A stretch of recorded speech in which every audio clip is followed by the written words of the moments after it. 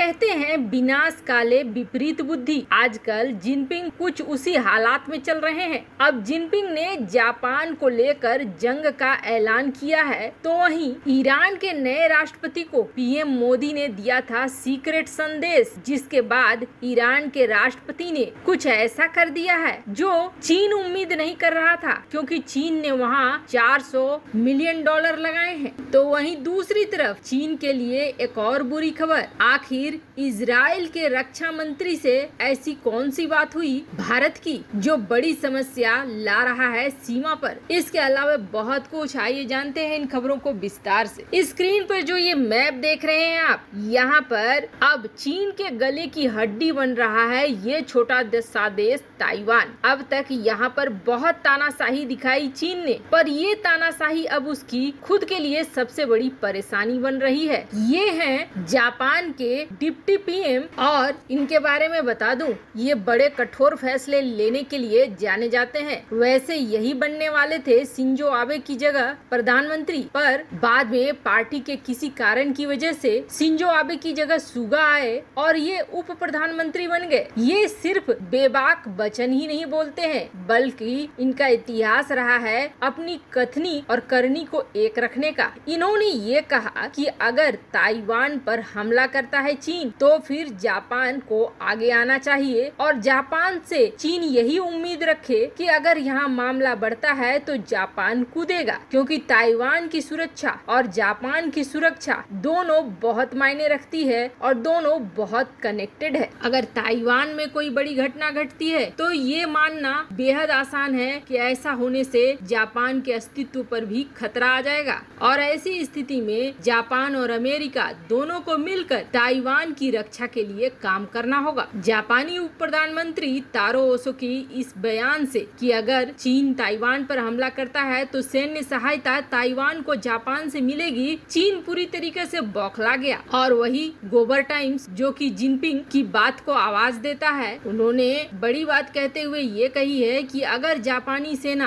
Taiwan की सेना की मदद करने के लिए आई तो फिर चीनी सेना उन्हें मिट्टी में मिला देगी। साथ ही गोबर टाइम्स यही नहीं रुका उन्होंने जापानी उप प्रधानमंत्री को अपशब्द भी कह दिए और कह दिया कि ये बड़ा मुँह वाला है, कुछ भी बोल जाता है। साथ ही साथ, चीन ने ये कहा कि ताइवान और चीन के बीच अगर इस ताइवान स्ट्रेट में झगड़ा बढ़ता है तो जापान के लिए बेहतर होगा कि जापान इनसे दूर रहे। साथ ही साथ, यहाँ पर जापानी सेना को ही नहीं, बल्कि जापानी अड्डों के लिए भी चीन ने चेतावनी जारी करी कि अगर तुमने इस तरह का कोई भी हरकत करा, ताइवान के साथ मिलकर तो हम तुम्हारे नौसैनिक, सैनिक अड्डों पर और तुम्हारी सेना पर सीधे हमला कर देंगे और तुम्हें चारों तरफ़ से पंगु बना देंगे। और यही नहीं, चीन के जो विदेश मंत्रालय के प्रवक्ता है, उन्होंने लिखित तौर पर शिकायत भी दर्ज करा दी है जापान के राजदूत के पास। और चीनी प्रवक्ता झाओ का कहना है कि हम ताइवान के मुद्दे पर किसी को भी हस्तक्षेप करने की अनुमति बिल्कुल भी नहीं देंगे। खैर, ये तो ज़रूर है कि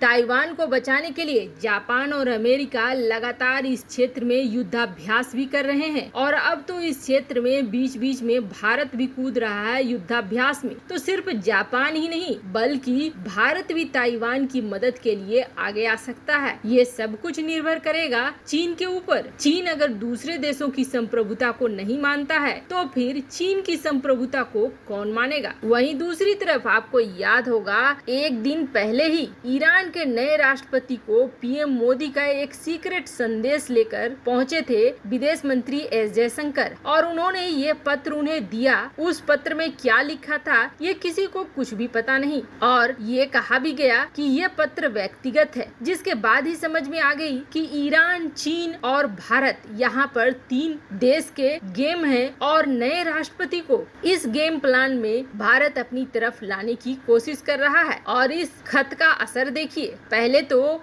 विदेश मंत्री अचानक से पहुँचे। इसके बावजूद ईरान के नए राष्ट्रपति और विदेश मंत्री के बीच मुलाकात तय हुई और इस मुलाकात के बाद ईरानी राष्ट्रपति ने खास तौर पर प्रधानमंत्री मोदी को भेजा है न्योता और ये न्योता उनके शपथ ग्रहण में शामिल होने के लिए दिया गया है और भारत के तरफ़ से इस न्योते को स्वीकार भी कर लिया गया है। जिसके बाद उम्मीद ये जताई जा रही है कि ईरान के राष्ट्रपति के शपथ ग्रहण समारोह में भारत की तरफ़ से प्रधानमंत्री मोदी पहुँचेंगे। और वैसे ये सब कुछ चीन के बढ़ते हुए ईरान में प्रभाव को रोकने के लिए तो है ही। वहीं जिस तरीके से चाबहार पोर्ट को लेकर खबरें उड़ रही हैं कि भारत इससे अलग हो सकता है, उसे रोकने के लिए भी है। दरअसल ईरान इस वक्त चीन, भारत और कहीं न कहीं रूस की राजनीति का केंद्र बना हुआ है, जहाँ चीन की दखलंदाजी बढ़ते बढ़ते इतना हो गई है कि भारत के मामले ईरान में हल्के पड़ रहे हैं। 400 मिलियन डॉलर को देखकर ईरान भारत के साथ रिश्तों को भूल गया है। जिस तरीके से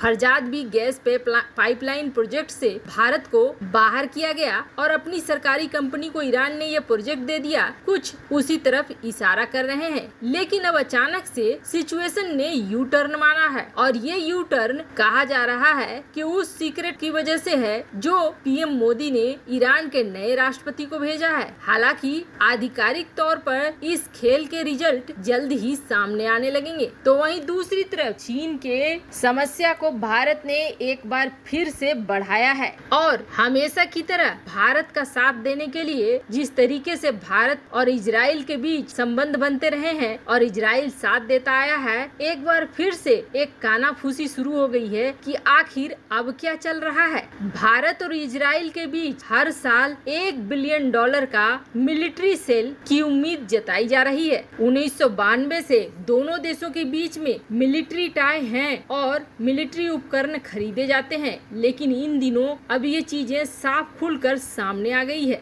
डिफेंस वीकली की जो रिपोर्ट है, उसके अनुसार दिसंबर 2020 तक में भारत ने बड़े खतरनाक हथियार खरीदे इसराइल से, जिसमें स्पाइस 2000 बम भी शामिल है, जिसका इस्तेमाल इंडियन एयरफोर्स ने बालाकोट स्ट्राइक में किया। तो वहीं 200 ओड स्पाइक लॉन्ग रेंज यानी LR anti tank guided missiles भी हैं जिसे खरीदा गया। और इसके अलावे बेनेट ब्रॉडबैंड इंटरनेट प्रोटोकॉल वाले टेक्टिकल रेडियोज भी खरीदे गए, जो कि 200 मिलियन डॉलर की डील थी। और इसके अलावे यूएवी की एक बड़ी संख्या, यानी ड्रोन की बड़ी संख्या खरीदी जा रही है इसराइल के ज़रिए। तो वहीं अब भारत एंटी ड्रोन सिस्टम को भी खरीद रहा है, लेकिन अब अचानक से सिर्फ़ पद ग्रहण करने पर इजरायली रक्षा मंत्री को राजनाथ सिंह ने फ़ोन पे धन्यवाद दिया। वैसे कहा यह जा रहा है कि ये तो सिर्फ़ एक औपचारिकता है। असल बात ये है कि इसराइल और भारत के बीच में चीन के तनाव को लेकर कुछ बड़ा चल रहा है। वैसे आपको बता दें, इधर बीच इसराइल के नए प्रधानमंत्री नेफ्ताली बेनेट ने भी ये संदेश दिया है कि वो भारत के साथ काम करने और रिश्तों को और मज़बूत करने के लिए इच्छुक है, जिसे देखकर यही लग रहा है कि कुछ नई और बड़ी प्लानिंग दोनों देशों के बीच चल रही है। वैसे आपको क्या लगता है, क्या इसराइल